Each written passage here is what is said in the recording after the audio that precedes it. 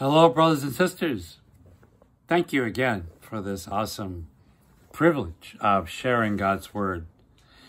And I want to say how I deeply, deeply miss being with you. I was so looking forward to this Sunday when we'd be back in person again. But I, I really prayed over this and a commitment we made to our three-year-old uh, grandson's birthday party also on Sunday.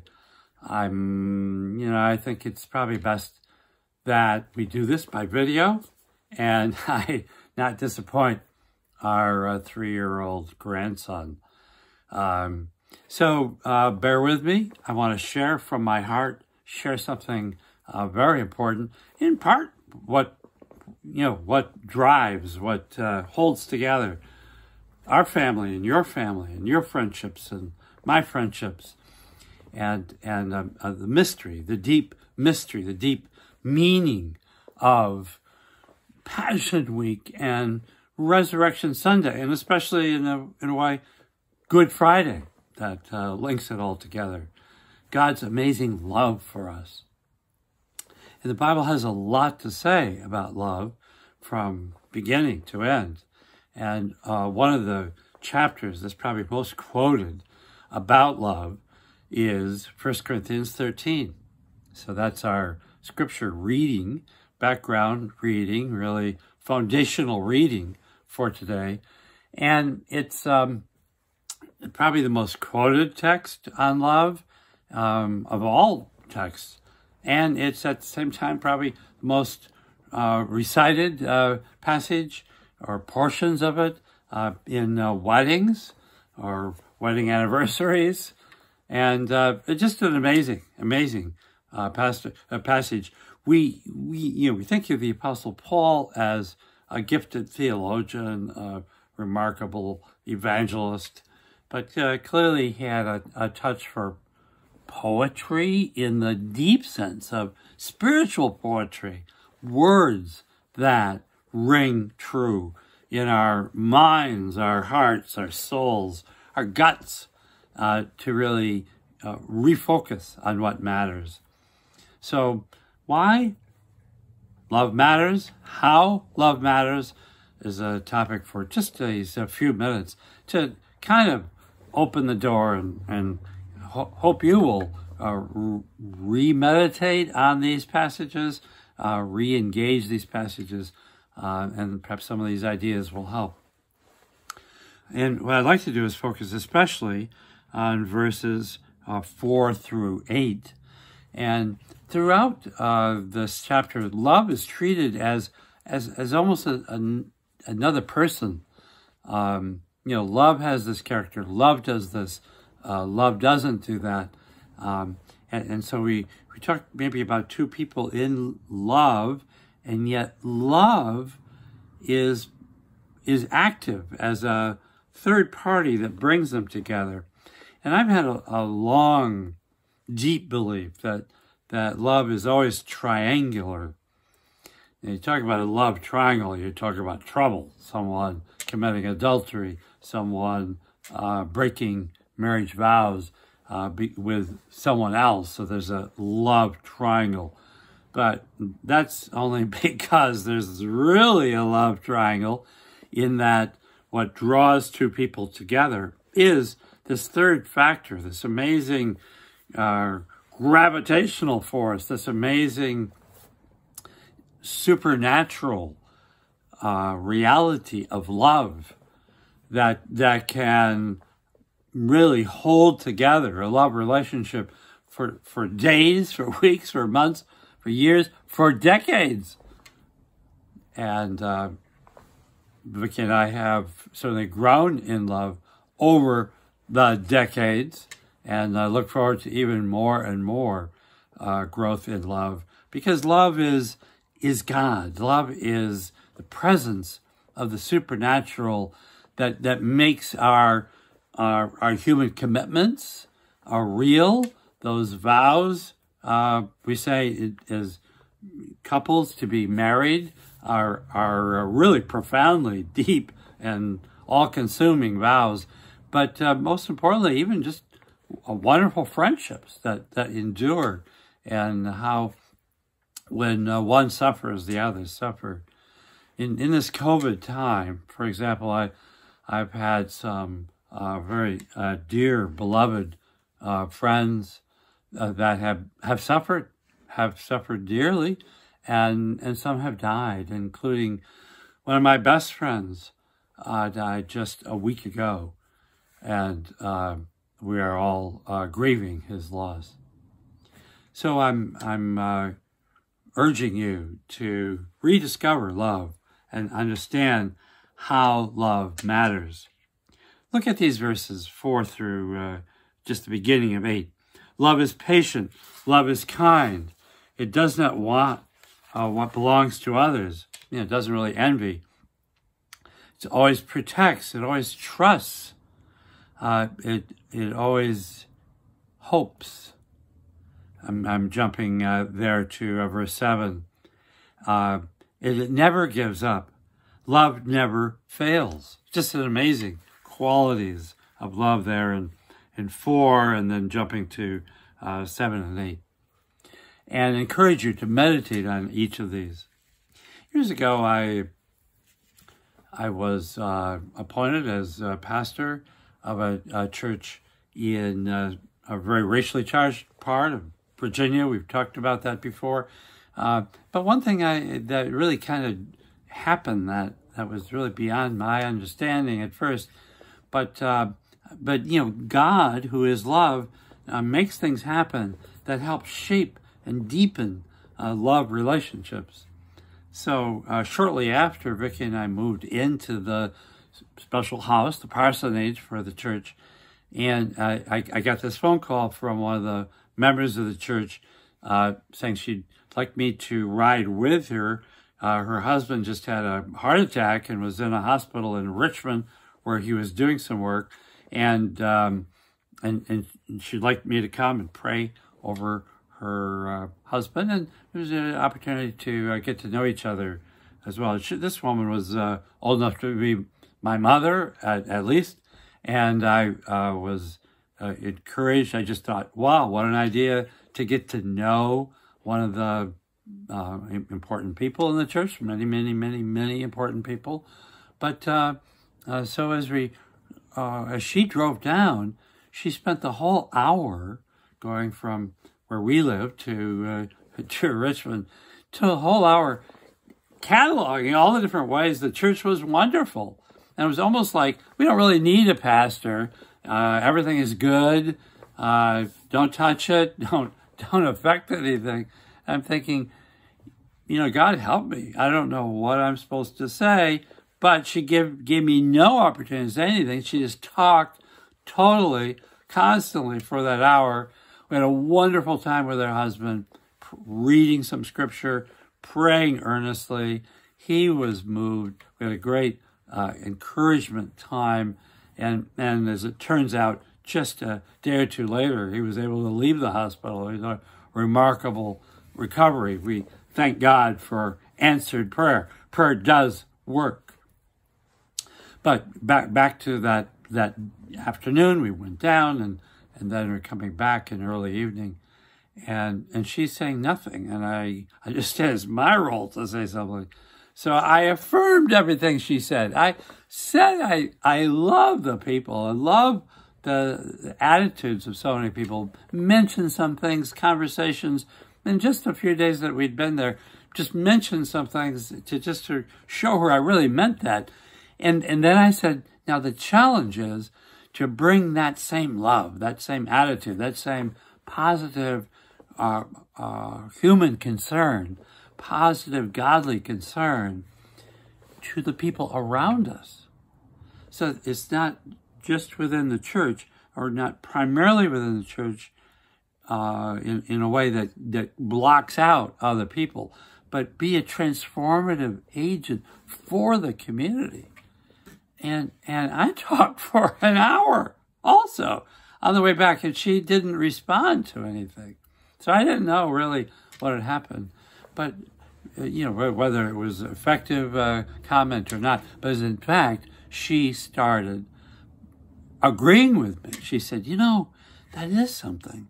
If, if love is real within the relationships of the church, there ought to be you know, much more engagement, especially with the young people. There were no young people in the church. Um, so we got to reach out to this younger generation, uh, the you know young adults, the young parents, uh, the teenagers. Um, we got to reach out, and and so she she did agree at the the very couple last couple of months. She said, and and of course our community needs love. The whole community needs love. There's a lot of problems. So I wouldn't go into the details, but we both understood, I think, that that, that these issues uh, were big and were important for the church to see as a priority.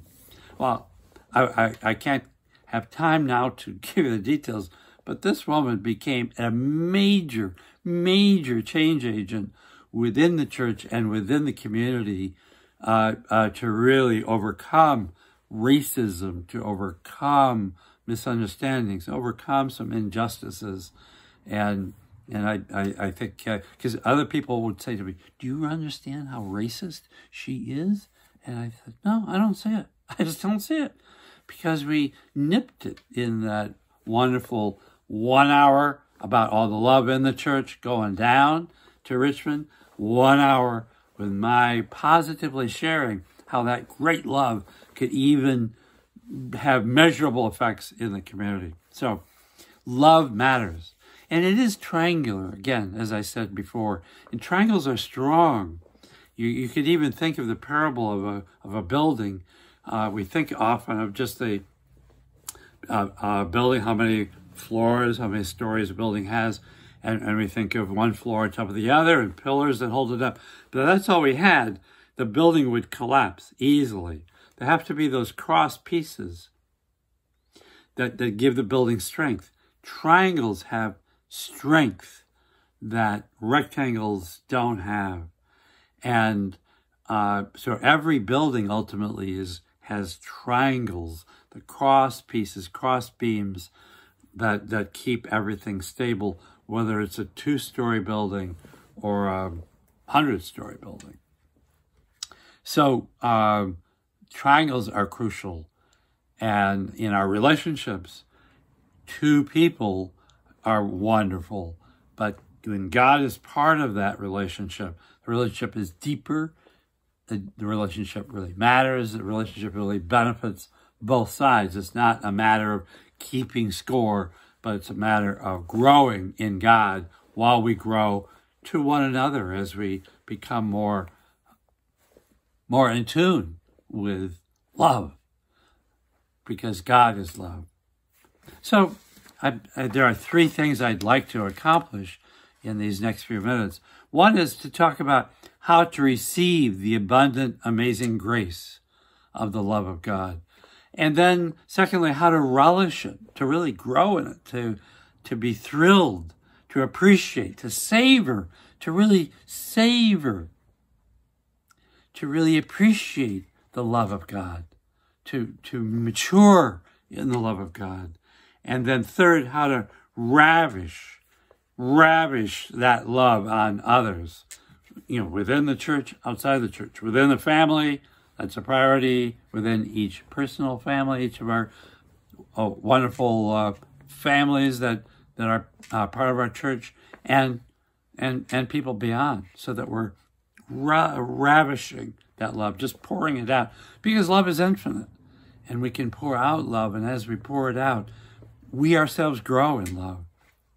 So to receive the love of God, to receive it, to relish it, and to ravish others with it. And how to receive the love of God.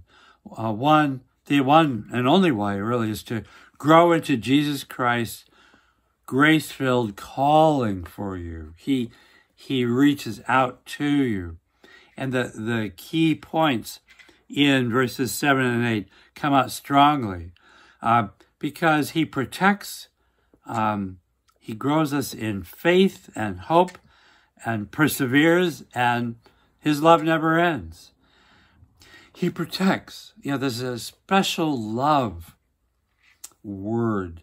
You know, the ancient languages mostly did not have a word for sacrificial, devoted, come what may love that we call agape love, and in Hebrew is is ahav love.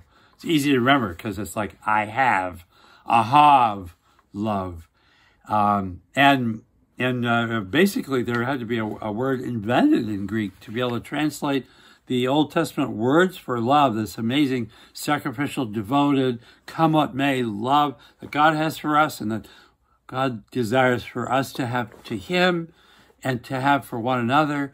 You know, love your neighbor as yourself is agape in the ancient Greek text of the Old Testament, translated into Greek 200 years before Jesus.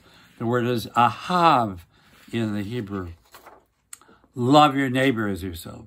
The, the love of husband and wife in uh, Song of Songs, for example, love that, that amazing uh, power, that fire of God, that is the passion of love, uh, a, a, great Bible text to understand how uh, deep and how transformative uh, love is. So the first, how to receive it, respond to his calling, because his love protects us. You know, it's, it is eternal love. It is a unique kind of sacrificial love shown dramatically on Good Friday in, in God's love for us. And notice how uh, tr- trusts and hopes, love trusts and hopes as a model. And, and as the last verse of uh, 1 Corinthians 13 talks about faith, hope, and love, these, these three things last forever. And the greatest is love.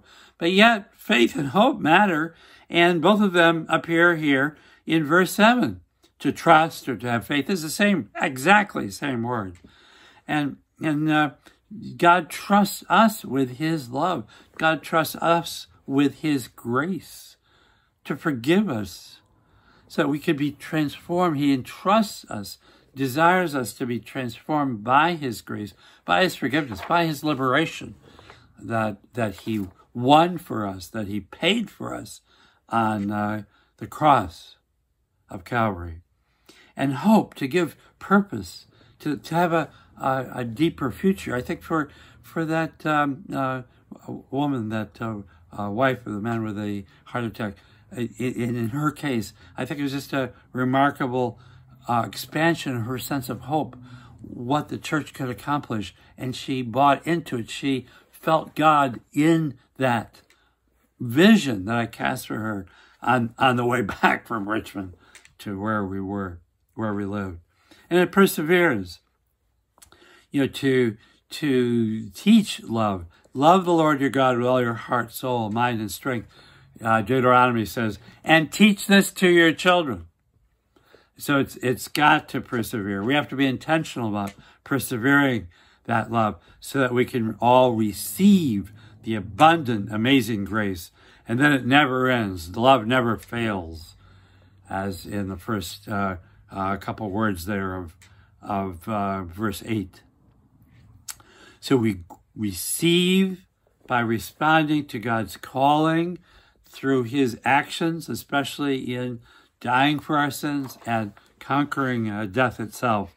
And so we go to Jesus, go to Jesus. But secondly, we need to relish, relish the grace of God within ourselves, to really focus on its value how it really does matter to really release the power of love to help us to grow in uh, in character respond to jesus calling we grow in his character as we become people that have the same commitment to love because we are committed to jesus because jesus life matters so much in our lives to, to give us hope to give us faith Yes. So we relish, relish that grace of the love of God uh, within us. And we grow, therefore, in character to be more like Jesus. We grow in Jesus. Go to Jesus to receive the love. Grow in Jesus to relish uh, his love and to develop a character like Jesus so we can have the eternal values. We can be reunited into God's family, have the joy of the Lord, the joy of our Lord, which is in a deep way our strength to endure, to uh, continue to love. And notice how this protects us. Love covers a multitude of sins. When we love, when we have God's love, it's, it's part of the washing of sins. We can walk with the Lord in, in, the, in His light and, and grow and have our, have our sins forgiven, have our sins cleansed. Uh, we can be honest in confessing to Him, and, and He will cleanse us from all unrighteousness. It protects us. It covers. Our love covers the, the things um, that we've messed up on because it's the love that represents God's presence within us that transforms us. And, and we trust, or we grow in faith as we love more deeply, more in the character of Jesus. As we grow in Jesus, we relish that love and we become more faithful to God and more trusting in God. And we really have a deep hope and awareness of, of the positive future that, that God has for us. And love perseveres. Yes, to, to love unconditionally, perseveres. The strong love of Jesus is our partner uh, to, to love our children, to love, you know, love people that are not very lovely, but we want to represent Jesus in all that we do. And, um, and it never ends. It's really the theme, can be the theme of our lives as Jesus' presence himself in our lives uh, is our theme, is what makes us really who we are as he created us in the first place and as he redeems us to be more and more like our Heavenly Father, more and more uh, compassionate and and caring and forgiving and helping. So we receive the love of Christ by by saying yes to his call on our lives. We we become believers, we're baptized into the family of God, and we continue to go to Jesus uh, uh, to receive his love. We learn to relish his love, our second point, using the same principles here of protection and faith and hope and perseverance and never ending. We relish, relish that love. And, and we grow, therefore, in character. We grow in uh, the character of Christ within us. We grow in Jesus. So we have the relishing through character, our character being uh, improved upon and being stronger and being more the sweet aroma of uh, Jesus Christ into our world, the light of the world that Jesus is. We become uh, representatives of that light as well. And then third, to ravish, to ravish others with that love, to find ways to go beyond the, the usual traditional family ties or friendship ties, um, but, but to really show compassion, to reach out to others, and, and especially even, even, but especially also the unlovely, the ones that, that, um, that, that people tend to avoid, to, to ravish God's love, God's grace. And, and therefore it has to be in our conduct. It's not just in our character where we got Jesus inside us. We, we don't just keep Jesus locked up inside our hearts. We let him out through our character. Yes, through our conduct, because character has to be shown in conduct. If he's really in our hearts, then our conduct will be God honoring. Conduct will be uh, holy uh, conduct. And we give to Jesus the good we do to other people for other people, to benefit other people, the, the close ones in our families and friendships and, and, and, and even others that, that God um, allows us to, uh, to help, to benefit, to encourage. Um, in that uh, conduct, uh, we are giving to Jesus.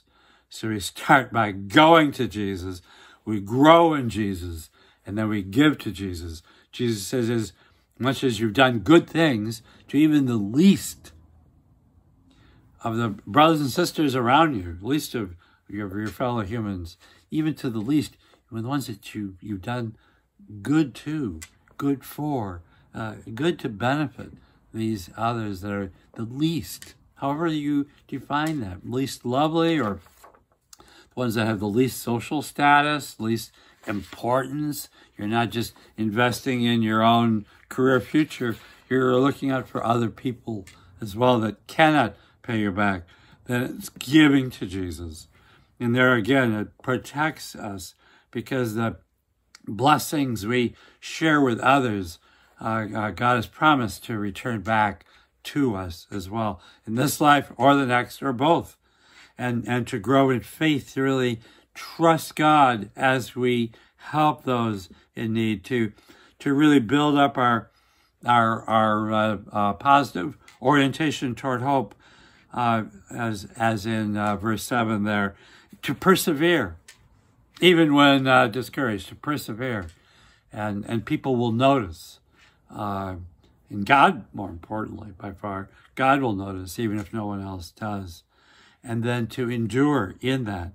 Um, because, you know, these three things last faith, hope, and love. And the greatest, the ones that, the one that really most profoundly endures on earth and in heaven is love. It's the greatest force for change. And we've seen that in uh, wonderful examples. Example of uh, Dr. Martin Luther King. Example of uh, Mary Nelson in Chicago. Uh, example of uh, a, a, a Swede African-American change agent called Ruth Bentley, the first black person ever to get a PhD in all of Alabama's history. And she devoted her life to benefit people, to help people, uh, and, you know, didn't get rich, but was an amazing change agent. Uh, 87 years old. And I was thrilled to be uh, part of her birthday party because I worked with her and, and was a, a helping to multiply uh, the uh, awesome Jesus orientation that she, uh, Ruth Bentley, had. So, hey, answer Jesus' calling and you receive the love.